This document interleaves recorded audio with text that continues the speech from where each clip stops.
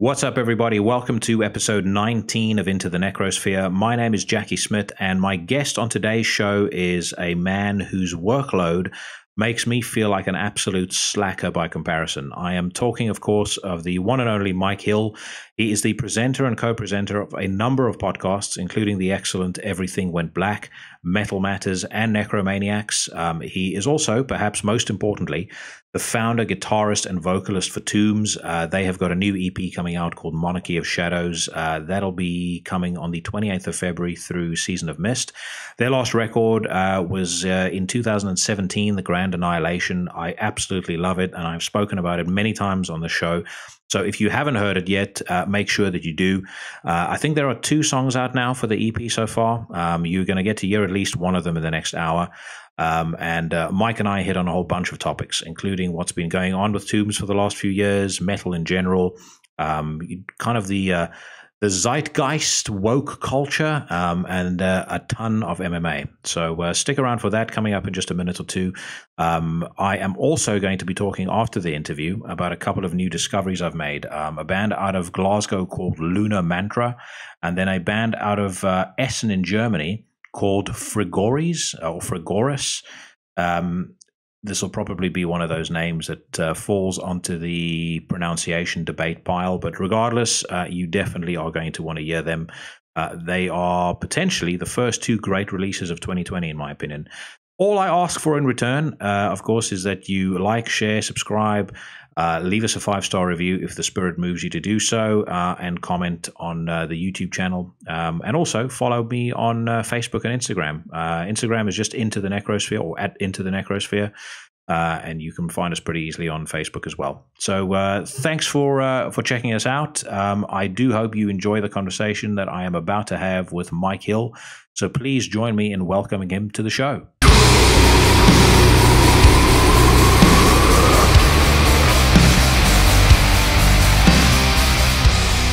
That you, you just got back from the John uh, Wiederhorn uh, book launch.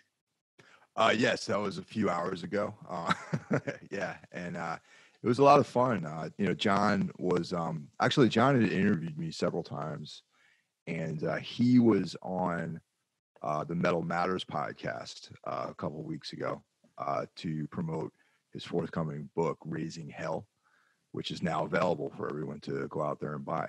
And uh, you know, he asked me at pretty short notice to come down to the Strand, which is you know kind of a legendary spot here in New York for literary types, uh, to read some passages from the book and you know do some uh, impromptu interview questions, like things like that. It was, uh, it was a lot of fun. Also, I got to do with Alex Skolnick, the legendary Alex. Skolnick, oh yeah, yeah. Alex Skolnick. Yeah, I, I, have I, I have a storied obsession with with Testament and. Uh, you know, I, am I'm not one to jump on a soapbox easily, but you know, as far as as bands that I think are criminally underrated, particularly you know, kind of given their if you if you compare their latter day work to the the latter day work of the Big Four, I, you know, Testament to me is, is you know, it, it, I, I fly their flag probably a little too aggressively sometimes. No, I agree. I mean, I think honestly, uh, Testament in my my Big Four includes Testament actually. Yeah uh, I mean, I you know I like the early Anthrax stuff, but the '90s on sort of uh, I think that band kind of fell a little flat for me over the years. I do have. I, I will say when, when it comes to '90s Anthrax, though, I have a I have a soft spot for the sound of white noise, and I think it it might have been the time I was 14 years old when that album came out. So you know when when, when I got it, it was kind of sort of the height of you know discovering heavier stuff than than the Black album.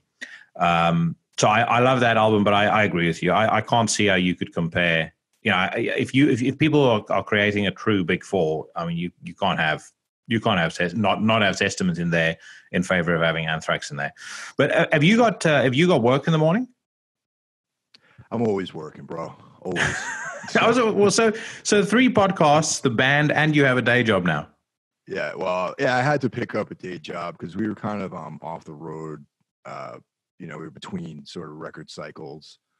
And uh, I went back to like an old, um, you know, the old uh, reliable day job of uh, doing some engineering work. So, so yeah, I got to show up to work in a couple hours. Yeah. Well, dude, I, I again, I appreciate uh, I appreciate you you joining. I, I I'm working myself today, but that's one of the benefits of uh, the job I do. I I go to the office maybe once a month.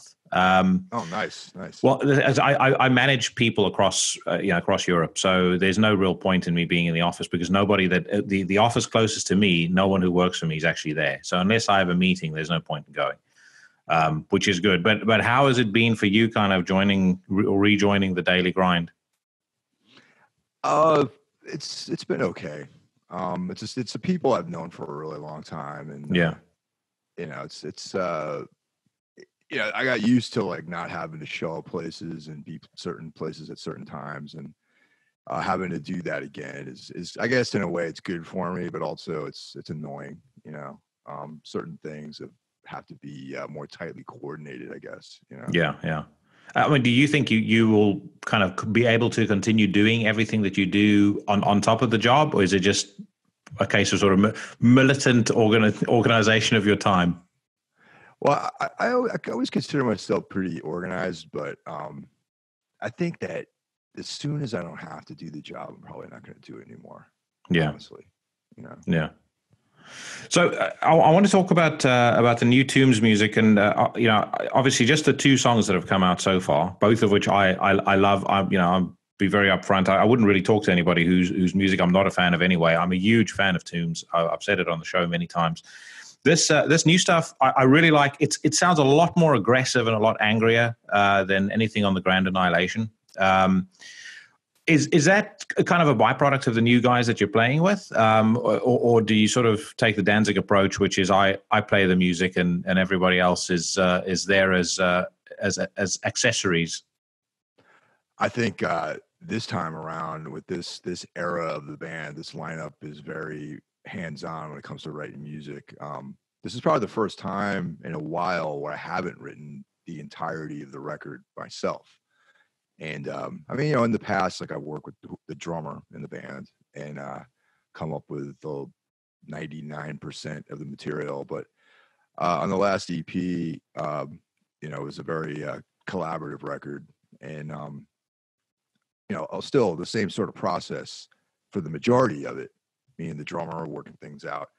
But, uh, but Justin it has, Justin Spaeth, our new drummer, has uh, contributed riffs actually guitar guitar parts you know and then and matt medeiros our guitar player um, has written a lot and you know and uh, it's been a very um, refreshing kind of uh, situation for me i say new but they don't feel new to me because we've been they've been in the band for like two years at this point but for anyone out there recording world it's been relatively new it'll be new for everyone else out there hearing the, the music. But yeah, yeah, it's um, it's it's still um, it's it's very very good because uh, I got kind of burned out, you know, a lot of pressure, and um, we have an entire new LP written too, by the way, which gonna be, we're going to be recording in in late May. So once again, I've written a lot of it, but there have been complete songs that have been brought to the table, and you know we've worked together on arranging them.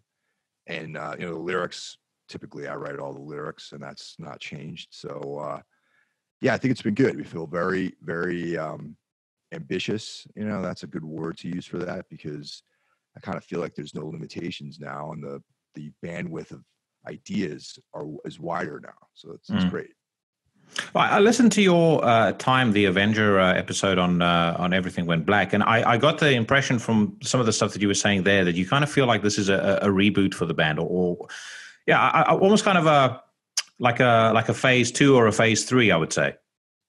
Yeah, definitely. Uh, around the time of the Grand Annihilation, there was a lot of problems internally with the band, and um, you know, it was it actually the, the year following the release of that record is was was rough because. Mm uh, it was very taxing. I, you know, it, there was a point where I, in the middle of the record, actually recording Grand Annihilation, uh, the band kind of disintegrated really, and um, it was a very difficult uh, several months. You know, because we had tours booked, and um, I basically had no lineup. So hmm. The, the record was recorded. It was on Metal Blade, which is like a great opportunity for us. And um, I had to go out there and, and go on the road and support everything and and it was uh, an ordeal really you know but um you know I, I don't to, to maybe to my detriment I don't know how to quit or give up on things so I just Yeah. kept kept moving forward and uh you know made it to the other side now I got a really great bunch of guys I'm playing music with and you know we all get along and everything's cool What what kind of kept things together? I, I, I guess during that uh, Grand Annihilation recording period, because I mean, so so you, I would I would have I was going to touch on this later, but uh, I know you did the uh, you, did an episode where on uh, one of your podcasts where you spoke about your your favorite albums of the decade. The Grand Annihilation would would almost definitely be in my top ten of uh, Really? of, of the last ten years, without a doubt. I mean, you guys. So in 2017, when it came out, um, it, it was only very narrowly pipped to the post uh, on my top 20 by um, Ruins of Beverast's uh, Exuvia, and that's. I mean, That's- so that that is my favorite album of the decade. So it, Oh, it's it's a great album it's it's excellent record yeah, yeah, but I mean, it, it's a, it's a fucking phenomenal, phenomenal record, and it's one I, I kind of keep going back to. You know, uh, uh, in in the last four years, as much new music has come out, I probably listen to it, you know, two three times a month at least. But what what what managed to kind of, I, I guess, hold things together during that time, and and, and equally, uh, you know, how did you manage to s- sort of still create something so coherent and and that doesn't really sort of betray any of the the challenges that you that you had as a band or or internal problems you guys were experiencing at the time. Well, yeah, it's just it's just you know the will to power, man. It's just you know knowing that you have to complete something by whatever means you have at your disposal. And that and uh and you know Erik Rutan. I mean, working with Erik, it's like you know our I we have a friendship, and also I have like ultimate respect for that guy. Hmm. And um I felt in some in a weird way, I felt like I, I would be letting him down if like things didn't really proceed. And um and that was like a, and he helped a lot actually. Like he was you know he was he was a good guy to have in the studio when a lot of this stuff was happening because he's um similar similar to me in some ways in our just obsession with progress. You know what i mean and also he he like he tends to lighten things up i know erik can come off as being a very kind of intense guy like in the studio but but um, he also has a very light side to him as Mm. well. And uh, and while everything was going on, like um, it was good to have him in my proximity because it, it kind of inspired me to keep going. So a lot of it is is due to Erik Rutan, you know, just you know, keeping things on track, you know. And then Yeah. he was telling me stories too about even crazier shit that happened in the studio where like you know, singer quit on the way down and and, for a relatively, I mean, a big band. He was. I didn't want to mention the name, but like this band was like big. You know, there was a lot of like a lot at stake for making the record. Hmm. And then the, the, singer quit literally right before. They fly some guy in. He, you know, he couldn't use the lyrics, the right lyrics. I mean, it wasn't as bad as that. It was the songs were written. You know, the drums were were being completed, and then every and when I look at everything else, it's doable. You know what I mean? So Yeah, it wasn't yeah. wasn't catastrophic. You know what I mean? I, I was going to ask you, you know, because I I've I've met a fair few people who have uh, recorded or worked with Erik. I've I've met Erik. I, I thought the world of him, but I was going to ask, you know, what is it about the style? And you've you've probably answered some of this already, but what what is it about kind of the way that he works with people, or the way that he um that that, that he I- wouldn't say mentors, but almost sort of gets the best out of a band when he has them in the studio because he genuinely. I mean, if I think of most of most of the recordings that he has done, the the bands that he's recorded that I like, I would say almost all of my favorite records of that particular band was produced by him. Um, he's just uh his an incredible attention to detail.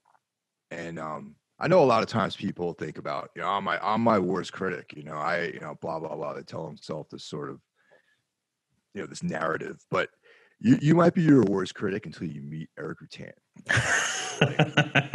You know what I mean? It's Yeah. like- I mean, if, but if you're interested in making a great record and you really want to be pushed and you're you're willing to like let your ego um, take a back seat to the progress, the process of making a record, then he he's then you're, you're it's all good. You know, some people can't handle that. You know what I mean? And uh, which is understandable. I mean, you know, I mean, it's not like ever. It's it's always positive, but be prepared to push yourself and be pushed harder than you probably ever have been in the studio setting.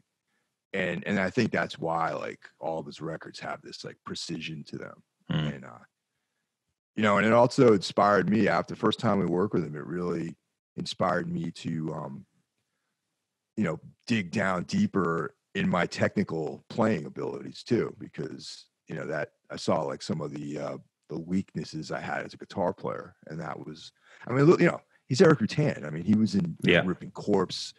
You know, it's it's it's intimidating. You know what I mean? He's played with some of the greatest drummers in the world, and I know, like for for us, it was very uh, very intimidating going down there at first, but you have to rise to the occasion. You know what I mean? Yeah, yeah. I, I, I, remember a story that Alex Webster told me once about um, recording with him, and, and I think he had him do one particular take nearly 200 times because he kept hearing a pick scrape, like on one particular point. And he's like, you know, Alex was like, I, I could not fucking hear it for, for love nor money. And every single time he would stop and he played back and say, I can hear it there. You know, re- redo that. But it's it's kind of like he's like the Stanley Kubrick of uh, of death metal. I would agree, and that sounds like a very, very accurate story to somebody who will work with Erik. So I totally, I totally can envision that happening with him. Definitely. Yeah, yeah. One thing that uh, uh, about the Grand Annihilation that I, I I absolutely loved, and I always kind of wondered where the influence had come from. And you know, you, you just sort of you know as you're listening, you, you know, the various names went through my mind. It Fields of the Nephilim, Sisters of Mercy, and it was it wasn't until I saw that you're a big fan of Samhain, who who I love as well, that it kind of made sense. There's, the, the, I would say that one of the things I love so much about that album is it's it's it's it kind of makes. Uh, I'm going to try and find find the phrase without sounding too clunky, but it it sort of it creates impact with the use of space. And I'll give you an example of what I mean. So um, the, the, the song underneath, right at the end when you uh, when you're doing the kind of uh, kind of outro chorus, when you sort of just repeating "drown in the darkness," there is a, there's there's like this very short drum so uh, drum um or drum solo drum uh, a drum roll. It's like but it's kind of like a galloping drum roll like and then the drum goes back to a, a relatively standard beat. But it's like it, it, it's it's stuff like that on the record that I loved so much where it's not like hyper technical but it's almost like that Sam, like like Samhain's ability to sort of take a take something incredibly simple, add like one little bit of flair to it, and then again just let it sort of ruminate in the space, and because it has that space around it, it, it it's so much more impactful. Yeah, I mean that's that was uh, one of Charlie's strengths as a drummer. Really, I mean he, you know, as far as as far as Charlie's technical ability, the guy is great at stuff like that. You know what I mean? Like working with space, adding space to things. Because, um, you know, prior records, you know, a- Andrew, our, our drummer before Charlie, was uh, excellent and but very compressed, very tight, very like, yeah, yeah. You know, and that that's that's awesome too. You know, but you know, everyone has their strengths and things they do well, and I feel like that was one of Charlie's strengths as a drummer, and also as a songwriter too, because he has a very good understanding of um of songwriting. You know, mm. and that's that's what he brought to the table with that recording. I think. You know, and yeah, I agree with that. I like I like those little drum flourishes and everything. Yeah, Be- because of all of the, the the drama and all of the the stress and the tension and stuff that went along with it, um, you know, do, do, you kind of look back on on the on the material on the Grand Annihilation fondly, or is it sort of something that that I guess conjures up ill feeling and, and is something that you you know you might want to avoid playing live or whatever the case may be? Uh, yeah, I have, a pretty pretty negative feeling about that entire record actually, but it's uh, it's almost like um it's going to be like my uh, my burning world. You know how like mm. Swans, you can't. I don't even think that burn that record is on uh, iTunes or anything like that. But uh, yeah, it would, it'd be nice to. I mean, we don't. We're we're not going to be playing any material from that record moving forward. I mean, the last bit of touring we did, we we played, you know, like November Wolves and things like that from it. But uh, we're we're moving forward. You know, we got record, you know, music from the last the EP that's about to come out yeah. We also have newer material that we're going to be recording in the spring. And then there's uh older stuff. Like we got stuff from uh you know, we're playing like the, the other EP, the um, All Empires Fall stuff. And, yeah. But we're we're really focused on on playing new stuff. So that's uh that's good. And um and stuff that's not released yet. So you know, that's kind of kind of the, the vibe in the band right now. Now, what what sort of direction is the new stuff taking? I know that's a very obvious question, um, you know, and, and, you don't have to uh, dish out any spoilers if you don't want to. But you know, uh, if you had to kind of compare it to anything that you guys have done before, um, you know, where is uh, where is the new music going? Uh, that's cool. Uh, ask that ask that question because I like talking about the stuff we're doing. So uh, it's uh, I would say more similar to Savage Gold, maybe because mm-hmm. that had like more of a death metal influence, I think, and um, but also uh, there's a new sort of vibe of uh, I would say like a very East Coast kind of sound, um, like a little more aggressive, mm. but at the same time, there's a lot more kind of vocal experimentation on the newer material and and on the EP that's about to come out too. Is, yeah, this, the other remaining songs are actually will demonstrate what I'm, you know, hinting at with uh, more vocal experimentation, and uh, and then just um, kind of like a little bit more of traditional heavy metal, which is uh, it's always been part of what we do, but you know, harmonized guitars and things like that is is going to start popping up more in the future Tombs material, you know, stuff like that. I, I, I, get what you, or I can I can see what you mean about vocal experimentation though, because uh, when I heard the dark riff, there's a I, I, I can't remember what part of the song it is, but there's a there's a part where your vocals sound very very much like, uh, or, or, very like a, uh, if I had to compare it to anybody, um, like uh, Ashmedi from Melechesh. Yeah. Okay. Yeah. That that that that sort of super kind of a, a guttural, aggressive scream, um, and uh, you know it, it, suits the song really well. But you know, you're also one of the only guys that can that can do like a Carl McCoy kind of clean vocal over a black metal riff and, and make it sound fucking badass. Oh, thank you very much. I mean, Carl McCoy is like one of my idols. I mean, I yeah. love Fields of the Nephilim, and you know, even that that Zoon record that came out, that actually, um, actually, a lot of people don't like that record when it was just Nephilim, yeah, Zoon. Right? Oh, dude, I, I so I love that album. That's actually what got me into Fields of the Nephilim. Is I, I discovered that record and I absolutely love it to this day. Yeah, and, and for years that record, I think that the sound has actually played a pretty big part in the direction of Tombs in general as a band. Really, I mean, we don't have like that industrial feel that that record has, but. Mm. You know, it's got aggressive guitars. His vocals a little bit more, in, um, you know, on the extreme side but then there's also that awesome baritone that he has, like yeah. And that I think that sort of vibe is like been a huge influence on like what the band's what Tomb sounds like. And mm. I've always been obsessed with that, you know what I mean? And crossing genres and having like mixing clean vocals with like aggressive guitars and things like that. That's always something that's it's been um, an obsession of mine. So that's uh, going to continue and hopefully get better, I guess, as time yeah. goes on. And, and, a great example of of of, of his vocal uh, ability, like he and, and his ability to to kind of mix the aggressive vocals with kind of the singing vocals, is on. Uh, there's a track on that album called Shine, which yeah. I just think is just phenomenal. Just absolutely fantastic because he kind of like goes almost from like sounding like an 80s pop star at one point to like you know, all the way into you know beast mode, and then he he kind of hits the straps in between as well, halfway through the chorus. Uh, it, it, it's as I said, I don't know why people don't like that album. I think it's fucking fantastic. Yeah, it seems like the go-to is uh, Elizium or like Dawnrazor or like one of the, and those records are great. But yeah, but those are more, I would say, on yeah, like you were saying, the '80s, like kind of like like uh, gothic rock kind of vibe and then you know Zoon was like way more experimental and industrial and aggressive and that kind of thing. Yeah, yeah. Um, so uh, I don't know how how much detail you you would want to divulge, but you know, as far as Metal Blade is concerned, um, how did that how, how, and why did that end, and then how did you guys end up on Season of Mist?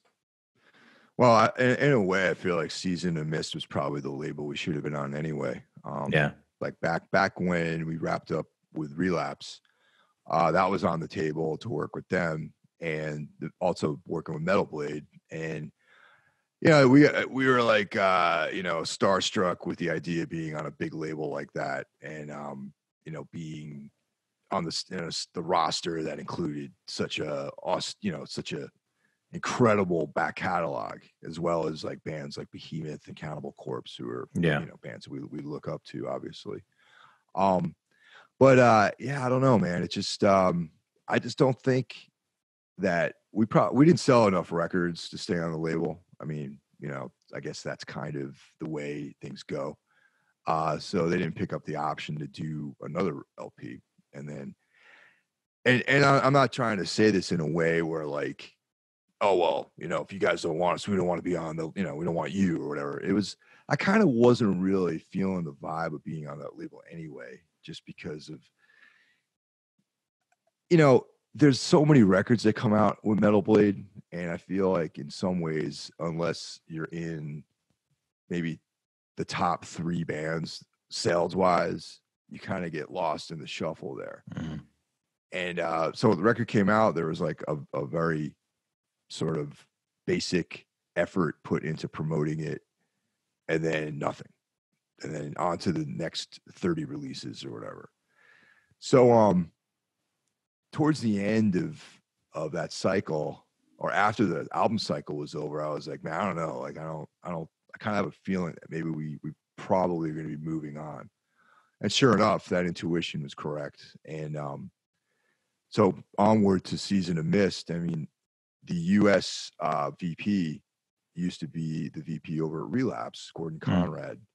And he's someone that I've known since I think I met Gordon in like 1997 when he ran his his uh, he had a, a another smaller label that he ran called um, Escape Artist, and one of my old bands was on that label. So we've always had a great relationship. And then um, we just, you know, wrapped up. and One door open, one door closes, another door opens. We walked right into that relationship, and uh, so far, I got to say, it's been it's been great. Um, it's it's that small label vibe with like resources, which I enjoy about it. Like it's a very uh, personal experience, and and you know, also I feel like um, there, there's more contact, which I enjoy. You know what I mean? And I, like I never met Brian Slagel the whole time we were on Metal Blade. You know, we didn't. Uh, you know, we weren't one of those top four bands, so we were like out in the fringes somewhere. So all the times we played Los Angeles on those touring cycles, never once met Brian Slagel. So that that was kind of an indicator of like where we fit in the pecking order over there. But everyone at the office here in the states, you know, we were in Philly, met pretty much everyone. Met pretty much. They came up to New York. It was it was great, you know, and and I think that's some of the great things that have happened just with the first two songs that were released is uh, very indicative where I think our relationship is going to go. So I'm really happy about that. So Yeah, yeah. And I, I, again, you know, sort of as an outsider looking in, I, I, I think Relapse did more to promote you guys than than Metal Blade did. The, the Grand Annihilation to me always kind of, and I don't rely on labels really to discover music. Which, and again, part part of one of the things I've done with this um, with this show is the only the only two um, labels that I have an active relationship with is Season of Mist and, and Apocalyptic Witchcraft because I I love a lot of what they put out. They're they're the they're the kind of label that where generally if they put something out, I'm, I'm at, at the very least I'm immediately interested in hearing what it sounds like. But um, yeah, I, I I felt like re- that Relapse kind of pushed you guys a lot more. The the you know the albums that you guys put out on Relapse was was more kind of visible and in the in the eye line of somebody who might just you know read a magazine or see something online. Than the Grand Annihilation. The Grand Annihilation always felt like a bit of an afterthought as far as uh, you know promo from from uh, from Metal Blade was concerned. I agree with that, and that's not you're not the first person to say that. I felt like you know, and maybe because of just the uh, the, the size of the band. I mean, I think our years at Relapse, we might we had a we were. I felt like they gave us a priority. I felt like we really were part of the plan, the overall plan at that label. You know, and I, I don't want to say anything negative about Metal Blade. I mean, they have, you know, they have like a very, um, you know, they're an important label in extreme music. So Yeah, uh, I- and I also don't want to like get into this thing where like, oh well, you know, it's better over here. It's it for us. It is better at Season of Mist. You know, for another band, it might not be. And uh, you know, and I, I personally enjoy the the current ro- and and recent past roster of Season of Mist more than Metal Blade. I mean, Yeah. on a personal level, I think. You know, the last like five years of releases on Season of Mist has been amazing. Really, you know, you, had, you know, Mayhem, thirteen forty nine. You know, it's incredible music has been coming out on that label, so it's more in line with the kind of stuff I listen to personally. So, you know. That's what I was, I was very interested as to why Mayhem went with Century Media for for Daemon actually, and didn't stay with uh, with Season of Mist. I mean, that's just that's just kind of a side note, but you know, Season of Mist seems to be the label that would get a band like Mayhem a lot more. You know, same same with you guys. I think they they they get Tombs, whereas I'm not really sure Metal Blade would you know knew what to do with you guys. If you think about their other big bands, um, you know, and, and, not saying anything disparaging against them. I love Cannibal Corpse. I love Cattle Decapitation. I, lo- I love Anaal Nathrakh. But you know, some of their other stuff like uh, Amon Amarth, I don't see how you guys necessarily fit in with those bands. I have to agree, and, and then there's other bands on there that are even further away from like what we do. Um, you know, like they, they have a lot of like deathcore kind of stuff on that label, and yeah, we we we did a deathcore tour, so I know firsthand that that is not a uh, kind of crowd that that we could really reach anyone, you know. So yeah, how how did how did the deathcore crowd take to you guys? That tour in general was kind of like a little underattended, I think, because there was two completely different bands on the tour, and uh, three bands actually. No, there was three bands on that tour. It was Fit for an Autopsy, us, and uh, and Moontooth, mm. and all three bands really sounded completely different, and that might have worked against, I think, attendances at that tour because there were definitely like you can, you know, you can pick out like a Tombs fan versus like a Fit for an Autopsy fan. You know what I mean? So there were a couple of people would come out and see some some like obvious fans of what we're doing in the in the in the crowds, and I just I find it hard to believe. It's it just blows my mind that the typical fan of deathcore doesn't know anything besides just that one genre of music. You know mm. what I mm. mean? Um, that that's a little was a little weird. At first, I was like, oh, "I'll try this out, see how it goes." You know, it, ha- it that tour happened right around the time of uh, the release of the album, and we just did. I mean, the guys in I think Fit for an Autopsy are an awesome band. I think they're a great band, but and I like the guys in the band, and you know, Will Putney's an incredible uh, producer. Um, the tour was fun. I mean, we got along great with those guys, and uh, you know, I go out and see them when they play in New York if you know if I'm around and and it's um they're they're a good band straight up and but just the the crowds were just a little weird. Yeah. Like some some kid came up and he was like, I'd, I'd never heard of an avant-garde metal band, and I was just like, neither have I, man. Like, who the hell played tonight? That's an avant-garde metal band. I'm like, yeah, you know, I mean, I, but I, in a way, also, it's like, it, it's like very young kids were at the, with some of those shows, and maybe that was like their entry point into extreme music, which is cool. You know, I mean, you know, I started out listening to like Journey. You know what I mean? So mm. maybe mm. like my entry point in heavy metal was some different route. You know, but it, it, was a cool experience. Just was like strange at times. Um, I don't think we're going to be doing any more tours like that. I mean, I would tour Fit for an Autopsy again because those guys are cool, but I don't see us doing anything in that genre at, in the, any point in the future unless it's like some festival or something like that. Yeah, no, I mean it's, it's uh, deathcore for me is hit or miss. I like Despised Icon. I love I, I like Acacia Strain, but I, I, I get what you uh, what you're saying about audiences as well. I, I, I remember a couple of years ago I went to go see the Acacia Strain and there were three songs in. I said to a friend of mine, if if we don't leave here, I'm going to get arrested. Like it's not even like you know the the the fucking kung fu kicking and all the bullshit. I was like, I, I cannot deal with this. If someone knocks into me, I'm going to fuck them up. Yeah, totally. I know that feeling for sure. Man. Which, which I was about to say, I can just imagine a fit for an autopsy tombs uh, tombs lineup. You probably have like the tombs fans in like a half moon, like a crescent moon around. fit for an autopsy fans going, stay the fuck away from us. Well, that was on that tour. We were really big. We really, you know, we, we had our, our fog machine on full blast during our set because I know it bummed out a lot of the kids there. That you know, the yeah. kung fu kickers and stuff. So I always thought that was really cool. Like just completely filling the room up with fog and doing our thing.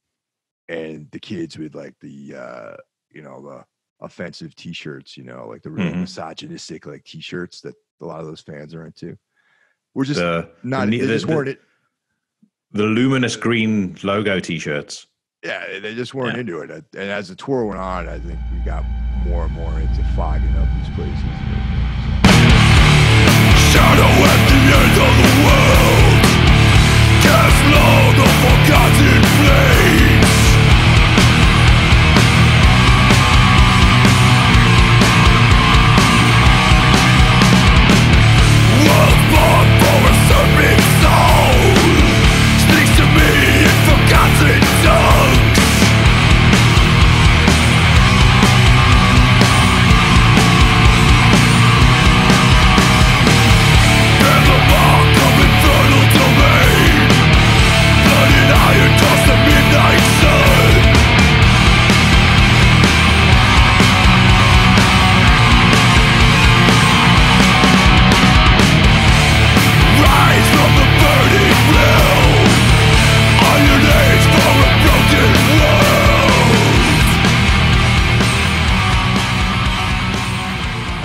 I've, I've, I've definitely noticed in, in crowds as I, so I, I, I'm from South Africa originally. I moved to the UK in 2002. So I've been, you know, it's, it's, I was writing for a couple of websites um, and then got out of that. And then, you know, a couple of years later, obviously started doing this, actually many years later. But as I've been going to shows, the one thing I've noticed, you kind of start to see this generation gap develop where a lot of the old guard, especially for at older, kind of more established bands, they kind of keep to themselves at, at, at the back, and then you have the, the, the, newer kids in the front. But the old guard have very little patience with the kids at the front. So Yeah. I, I remember being at the Slayer farewell show at Wembley, and some fucking idiot was, again was running around kung fu kicking. He knocked into this old guy, and this dude must have been probably like I'd say late forties, maybe early fifties, and, and eventually you just saw him flip, and he just grabbed this kid, picked him up off the ground, and all you hear, all you see over the music is just him mouthing. And this kid is looking terrified. he puts him down, pushes him away, and I've seen that at so many shows. Sick of it all, Sepultura, and you, you, like I said, there's definitely there's a big distinction between the between the old guard and uh, and and the newer kids who are getting into it at shows. Yeah, you know, it's it's good that younger people are, are definitely into metal. I think too, because um, you know, there's a lot of stuff going on like culturally, and there's all this new stuff that I don't even know about that you know, Generation Z or whatever you want to call them are checking out. And uh, you know, a couple a couple days ago, I actually interviewed a lot Moment from uh from Dialect, and he was playing me a ton of stuff like this, you know, more like dance, electronic music. It's like, oh, this is what all the Generation Z kids are into. If you're 18 or 19, this is what the cool kids listen to. And I'm like, that's pretty cool. But it's like, and I can understand like generally generationally like why this is appealing to people. And now it technically it was cool. But I also am glad that they have their like punk rock, which is like this kind of newer music. But also I'm happy that there are kids that that age group that are into metal, you know, Mhm. and are open minded enough to do whatever, maybe both or have the same feelings I had when I was a young kid and gravitate towards what the things I was gravitating towards. So Yeah.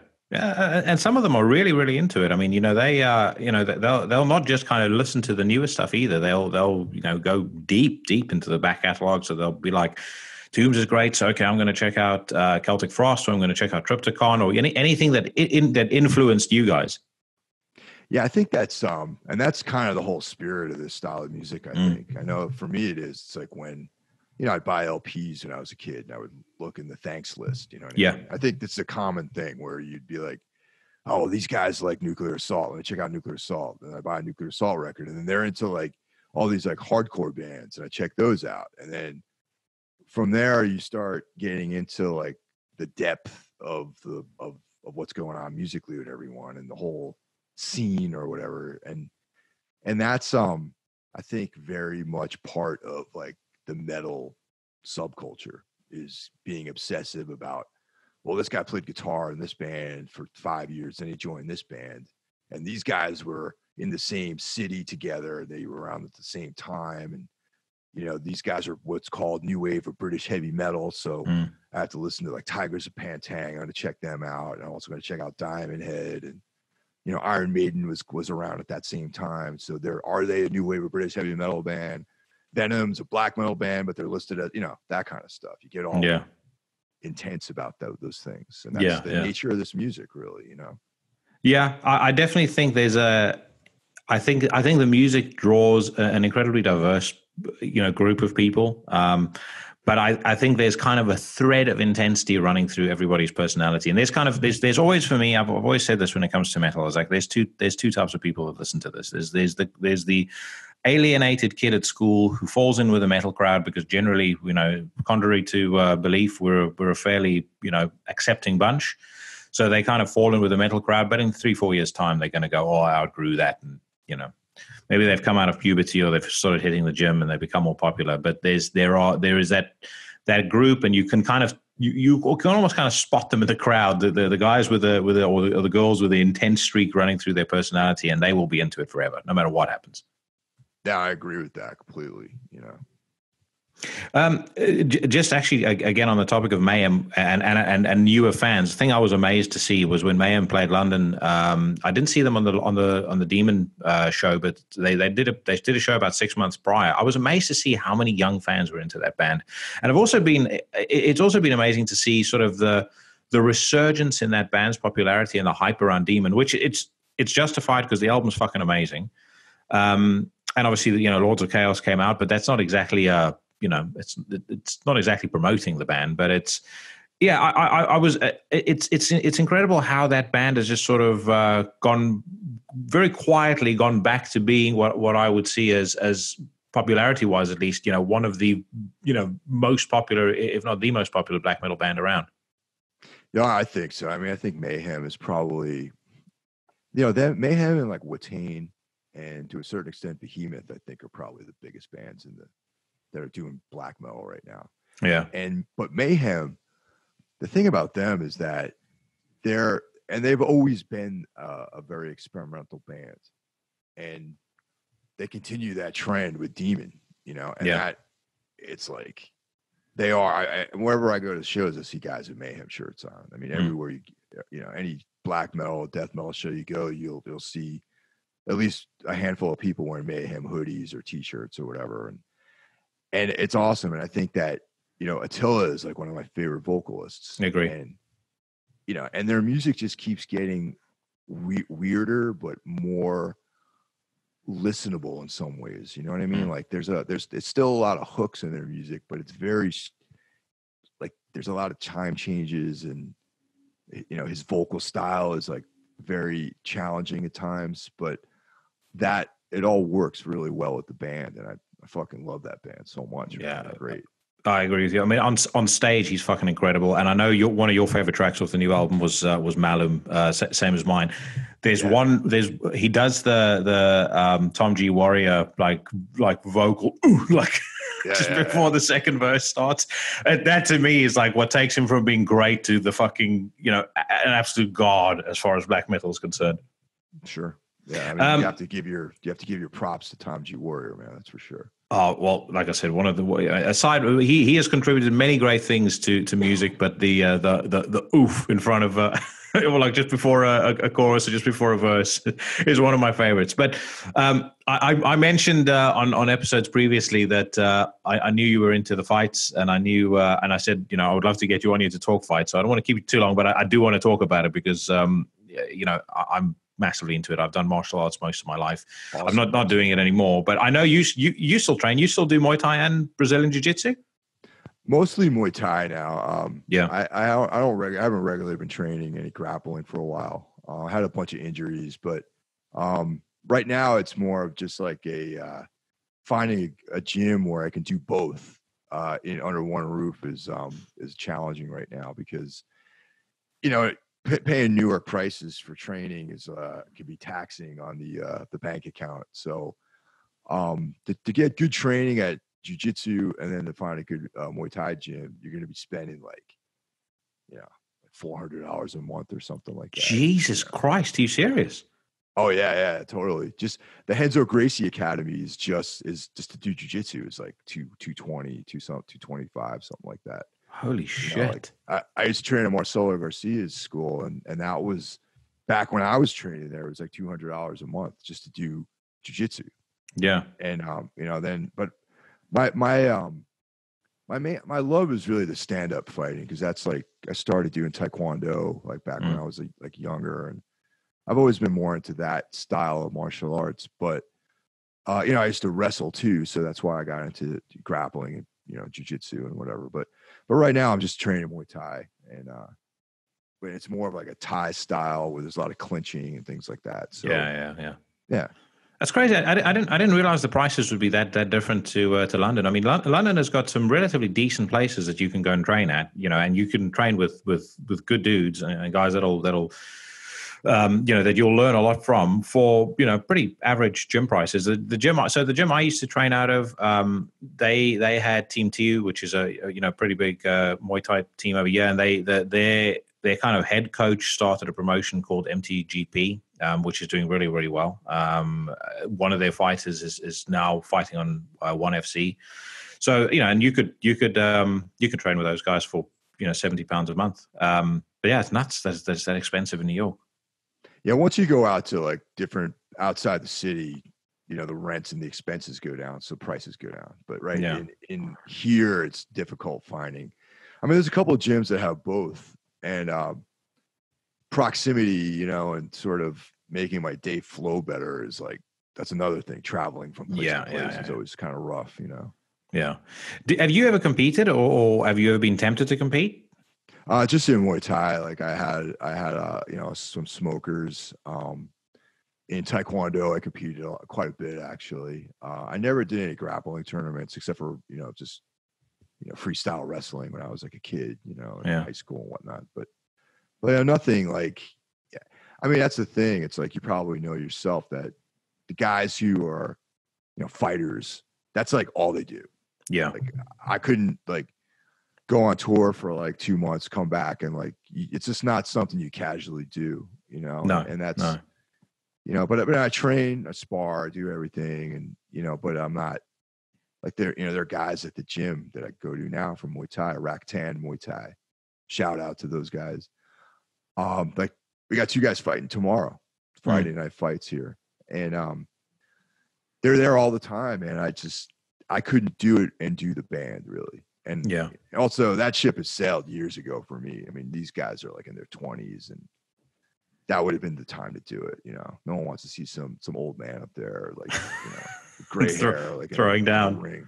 Yeah, Yeah. yeah, no one wants to see that. You know, I, I, I, this is a side note, but I, I think you'll agree with me on this.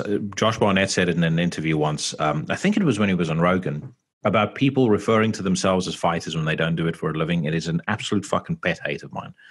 Like I've met so many people that that um, you know you train with at the gym, but the guy's got a day job. He's not you know done any competitions to speak of. Maybe the the odd interclub, and then when he introduces himself in a social setting, it'll be like, oh yeah, I'm a Muay Thai fighter, or I'm, I'm an MMA fighter. It's like shut the fuck up.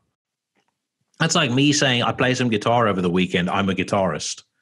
You know, it's not the exactly. Yeah. yeah However, the guys who who compete on the um on the amateur side of things, I, I consider those guys fighters just because like you know the camps those guys do like real camps you know what i mean they Yeah. weight they do all that stuff and and that's you know you might never make it to becoming a pro but i think that all the dudes i know that are amateurs i consider them fighters just because yeah yeah you know they're out and especially in muay thai like you can fight like all the time between new york most there's a lot of a lot of good places in jersey there's a lot of good competitions and promotions out there and there's pro fights and amateur fights all the time and for, I would think in Muay Thai you'd want to take some time off between fights, but these guys don't. They're No. constantly out there, you know.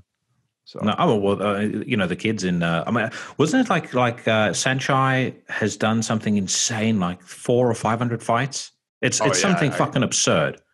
yeah, it's crazy, man. And uh, I mean, I used to, you know, you know, Koban, the legendary Koban, um, who him and Ramon Ramon Dekkers had those three fights. Mm. I used I trained at his gym for many years in New York, and Koban has had 300 fights. And it's like I just can't even imagine that. But these guys start when they're like nine. you know? Yeah, yeah, yeah. Well, yeah, uh, I, I, I will say as well. You know, one, one of the things I, I've said many times to people when I when I talk about Muay Thai is the one thing I take away from that is if you want to see genuine change in the Western world, the government should mandate all all children to do Muay Thai from from when they're five until when they're nineteen. There's a there, there's two things about it. There's like there's a there's a a bond and a camaraderie that builds between you and the people that you train with. I mean, there's you know, and you'll you'll be able to speak to this too. But there's you know people that I've sparred with, or people that I've you know who've beaten the fucking dog shit out of me. I can still see in the street three, four years later, and it's just like there's just like a knowing, and you immediately can start talking and picking up like you've you, you've you know like you've there's there like there's no time that's passed between the two of you. And then the other thing is is, is especially as far as the this kind of sniveling woke culture in the West is concerned, I, I, think part of that stems from the fact that they've taken away or that there's been less of an emphasis in contact sports with kids. Oh, yeah. And no one has experienced the humbling benefit of a, a kick to the face or a fucking rugby, you know, hard rugby tackle or something like that.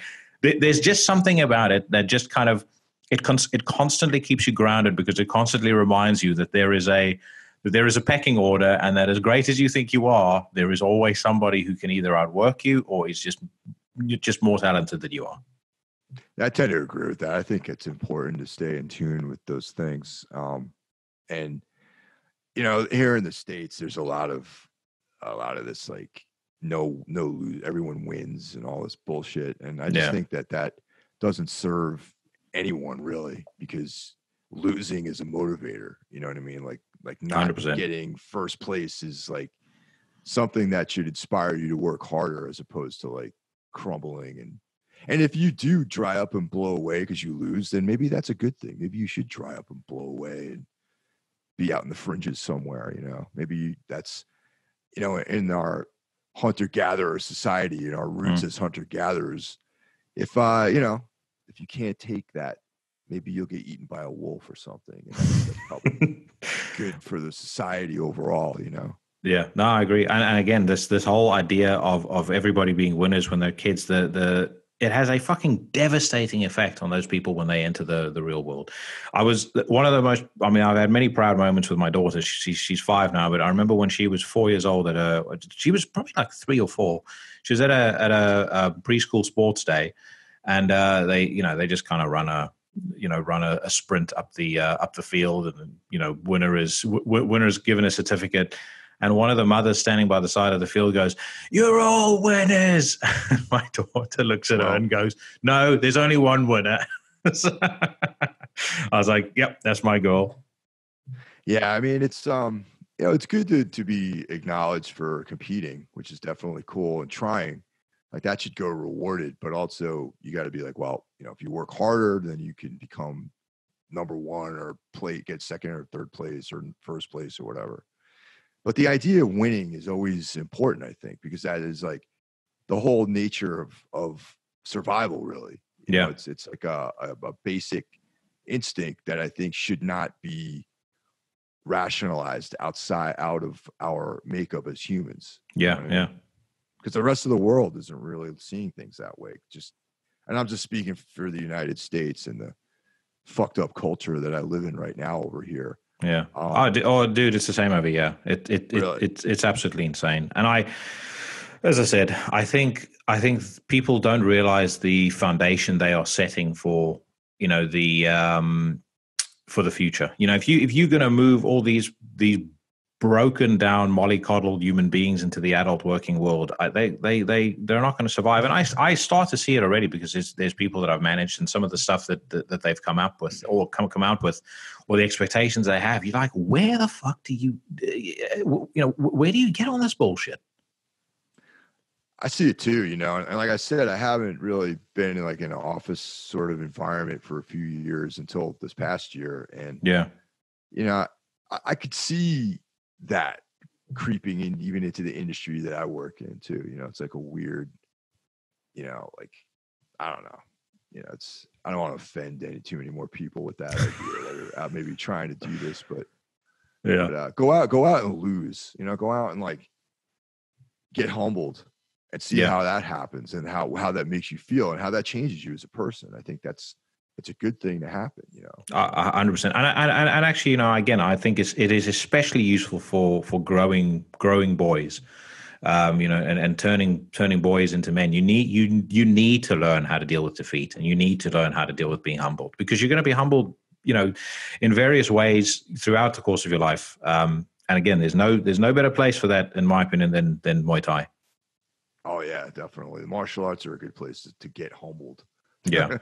Speaking of getting humbled, now I know I know that you had you, you gave actually by ordering the pay per view a hard pass, but did you at least see the the the uh, Conor Cerrone fight? Did you did you? I mean, it's only forty seconds long. Did you did you watch Yeah, I think I saw it on Instagram actually. Yeah. Um, yeah. And uh, you know, I mean, I think that fight probably would have been cool, like, you know, a few more like back maybe four or five years ago. Yeah, You know, uh, old, old cowboy's getting ready to like retire, man. You know what Yeah, I mean? yeah. That was kind of a uh yeah, that, that, that was there was there was I, I'm not gonna say it was fixed, but I think they could have given him a tougher opponent. You know what I mean? Mm.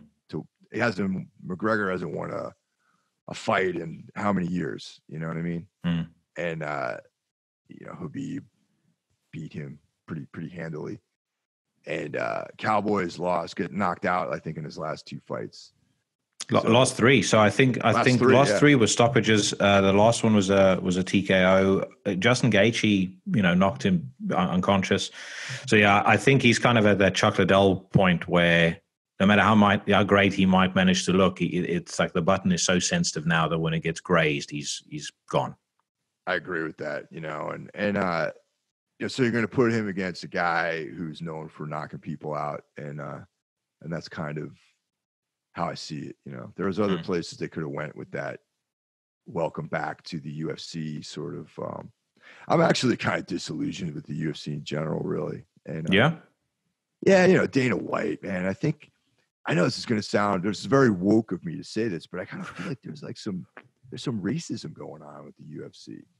Um, you know, back to McGregor. You know, Mm. a guy, a guy like Jon Jones. I mean, like, you know, that guy they had raked him over the coals for all of his infractions. You know, Mm. all of his, you know, failed drug tests, all this darkness that was surrounding him.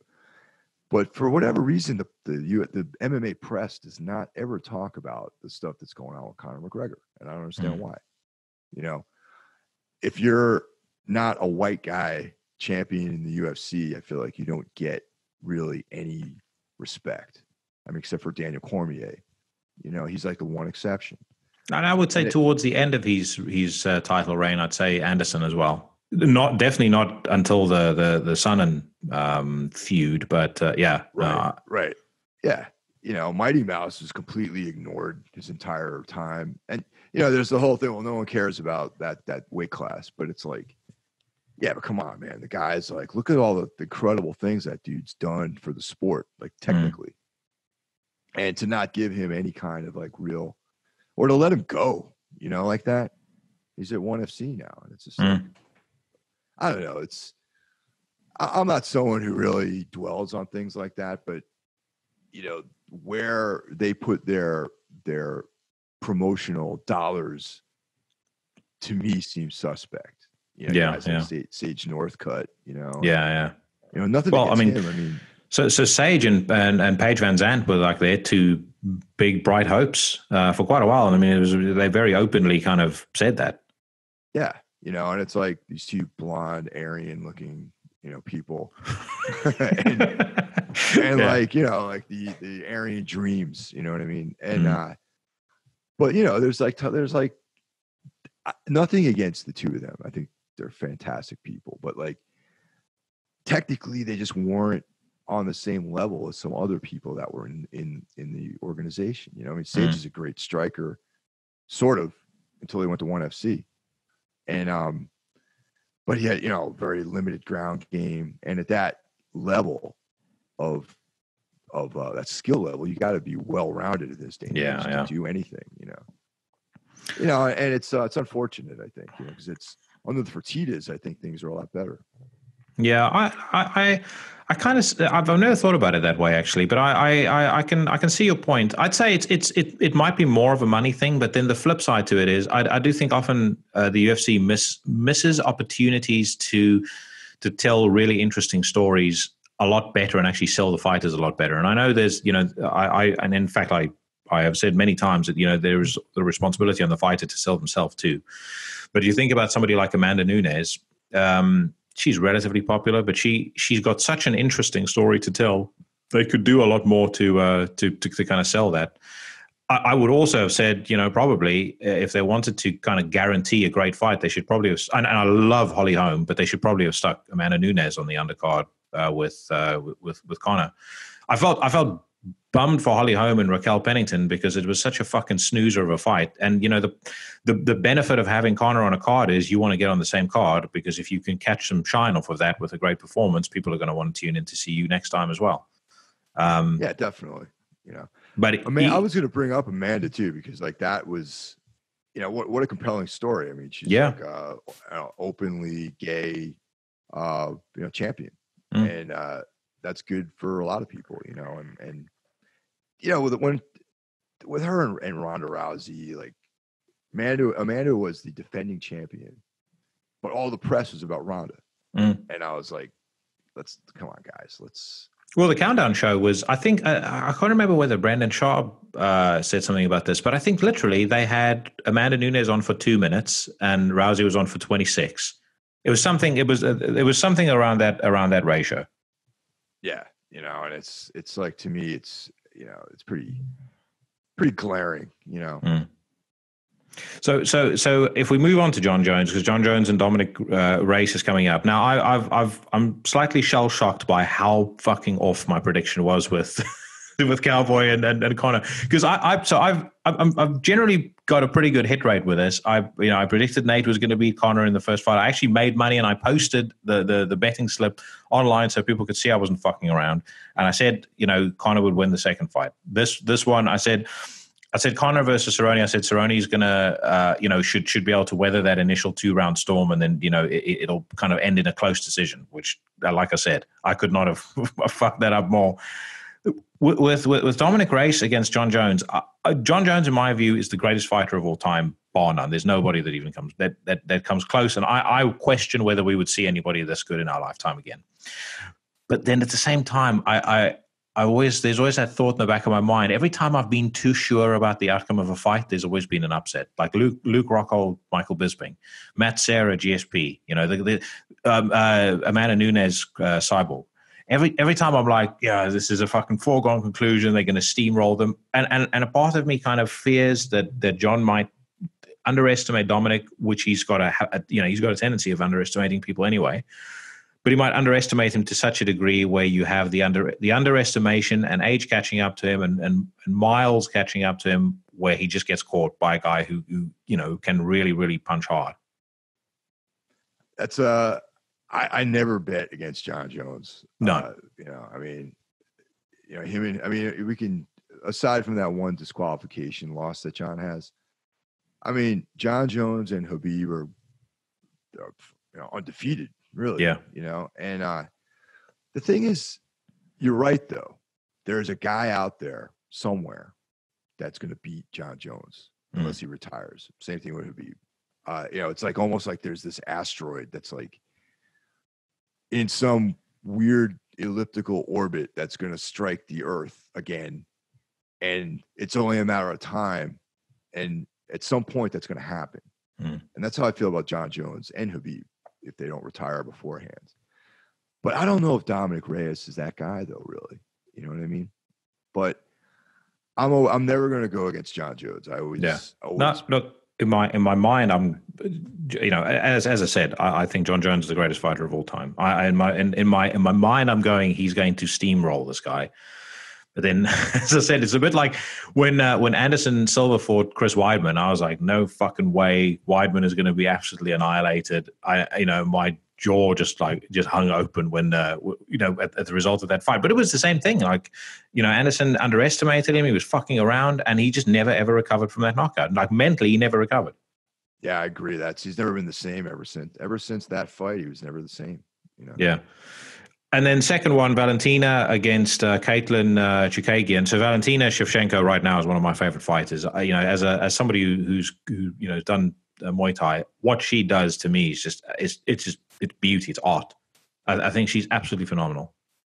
Yeah, I, I would. I want to. Um, like I want to get behind uh Katlyn Chookagian because she's she's out here in the tri-state area, you know. But uh I just can't. uh, Once again, Valentina, I just can't go against her, her either. You know, she's, Yeah. she's amazing. She's probably one of the definitely one of the top three female mixed martial artists in the history of mixed martial arts, in my opinion. Yeah. That that that last fight where she where she landed the head kick, and I can't even remember who it was, but I, I remember watching the fight with my girlfriend, and she landed those three really really hard leg kicks, and I said to her, I said to my girlfriend, I said, in about forty five seconds, she's going to throw a head kick. I could see it like being set up, and it's just the, the her, her technique is so sneaky because her her her hips never really give away what's coming because she's so fast.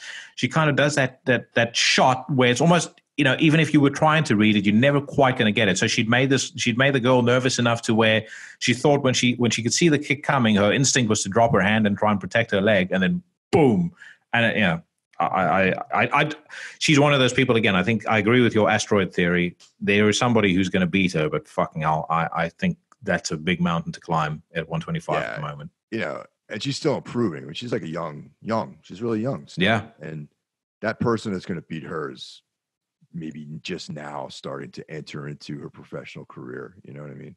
Yeah, yeah, yeah. Dude, I'm going to ask you one more question, then I'm going to let you go. Um, in fact, no, two. One is out of personal interest, and uh, and, uh, another is just, uh, in fact, both are. Savage Gold Coffee. Whatever happened to that? I just didn't have time to do it anymore, man. It was, um, you know, once I re- rejoined the uh, the the workforce again, um, being able to get orders out and I don't know, it just it just um, it wasn't a lucrative enough pursuit where it warranted the amount of time that it took to do it. Hmm. So I had to, at least for now, kind of let it go to the wayside for at least for now. I don't know, maybe like you know, might come back as like an extension of some kind of merchandise effort for the band or but for now like I just can't I just can't it's one thing that has to like just I don't have enough hours in the day to do that anymore really. Yeah, and then final question because I know you're a big horror movie fan as well, and and I have espoused my views on this movie many many times. Hereditary. Did you did you see it? What were your thoughts on it? I loved Hereditary.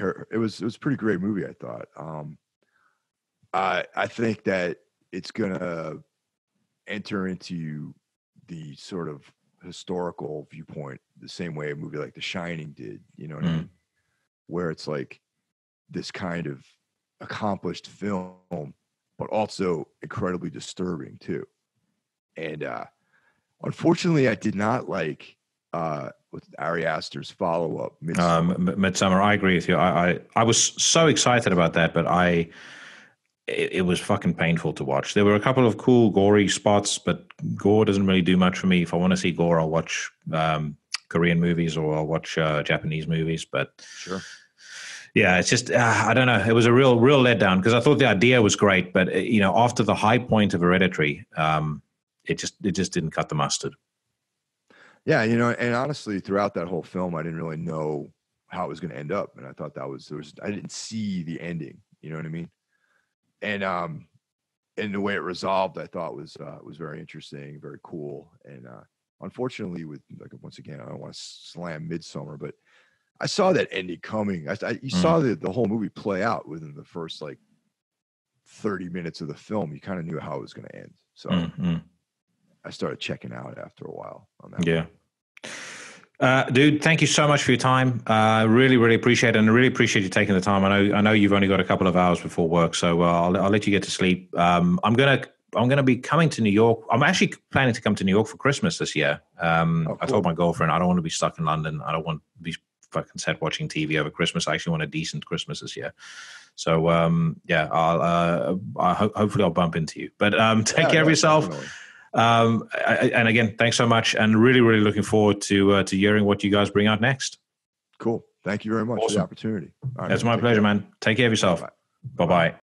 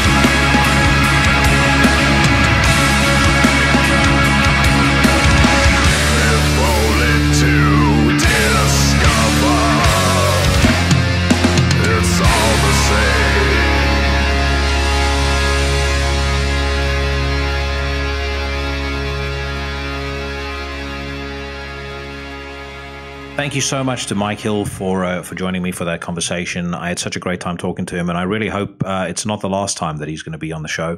Um, that EP, like I said, is Monarchy of Shadows, out on February 28th on Season of Mist, um, and uh, uh based on the first two songs that I've heard, it is definitely worth picking up. Um, I am also extremely psyched that uh, Tombs are going to be bringing out uh, potentially a full length album this year as well. Um, and I have been debating Tombs' position in my hallowed and soon to be um, declared top 50 black metal bands of all time. I know I mentioned last year that I was thinking of doing a, a series of episodes um, on that. I'm actually um, busy finalizing that list, which is really fucking difficult. Um, and I also want to try and finalize a couple of guests to join me um, to talk about it. But uh, hopefully you'll see that come up in the next um, the next probably two to three months um, and uh, i fully expect all kinds of hate to be thrown my way because uh, i don't my default position is not to uh, automatically respect uh, metal or black metal's sacred cows um, so I can tell you right now, there are a number of bands um, that people will sob and wail about uh, who won't be on the list. Um, it's my list, so they can come up with their own if they uh, if they disagree. Uh, speaking of bands that I enjoy, uh, my first discovery of this week that I uh, mentioned wanting to discuss at the top of the show, um, out of Glasgow, a band called Lunar Mantra. So it's four guys. They make ambient black metal, um, kind of along the same tip as Deathspell Omega, Ruins of Beverast, and Darkspace. Uh, they have just put out their second EP called Psychosomatica. Um, it is available on Bandcamp. It's the follow up to uh, their first EP, Genesis, which came out in 2015.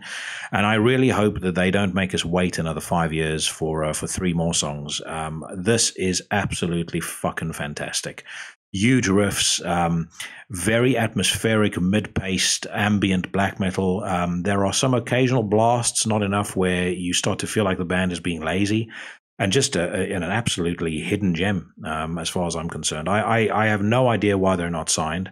Um, and I find myself asking that question of a lot of bands recently. Um, you know, I, I, you all know my view on Stellar Master Elite. Um, you know, they have now put out four absolutely magnificent records and they are still not signed. Um, Utkena from Greece, top notch band, um, you know, great production, great technical musicianship. Um, the the artwork on their EP was awesome. Just the way that they present themselves is you know super professional, you know, and just absolutely on the ball.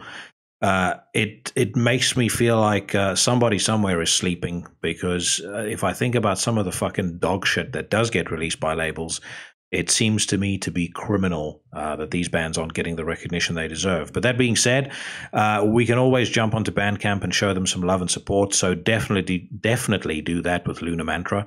Um, this is a track off of their new EP, Psychosomatica. It is called Azothic Pyres.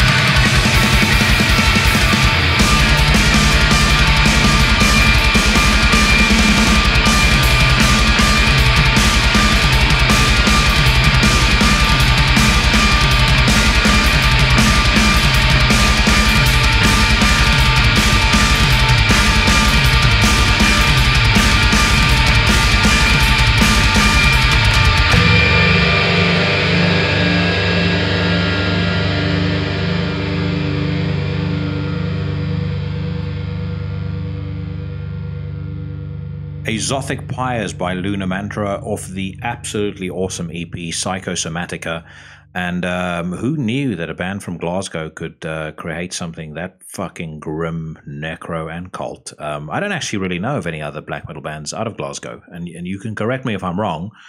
But uh, yeah, if we're on the tip of a burgeoning scene, then uh, I definitely want to know. But um, yeah, Lunar Mantra most definitely deserve your support. And as I said, you can check out that EP on Bandcamp um, go on there and uh, if they have some merch i haven't actually looked if they do but if they do have merch buy it. Show them show them some love and support.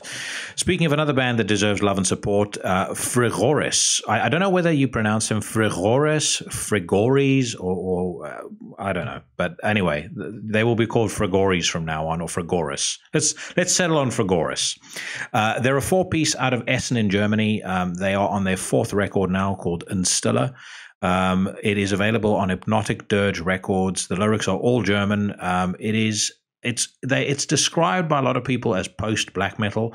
I don't really agree with that. I think it's it's more sort of classically ambient black metal. It reminds me a little bit of a mellower version of Farsot, um, who are a band which I am a really big fan of. Um, and it kind of has all of the trademarks or the hallmarks of that band. So great production. It's quite slow paced, very kind of song centric and riff heavy. Um, nice occasional use of clean vocals, uh, you know, and just again, a, a, super entertaining, really, really enjoyable record. Uh, this is a track off of the album Instiller. Uh, this is called Funkenflug.